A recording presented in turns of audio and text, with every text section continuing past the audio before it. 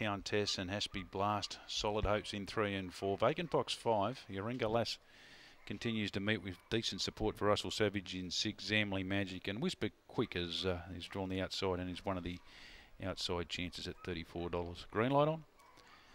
Last race. Favourite in one. Ring Ringbark Lana. Set to go.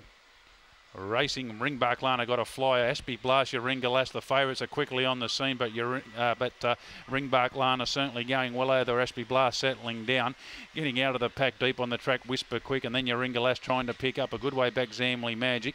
Uh, well, behind those before the turn then was Choice Wayne, Sublime Countess getting off the track. Ringbark Lana diving through on the inside. Yoringa Lass and Yoringa Lass too strong.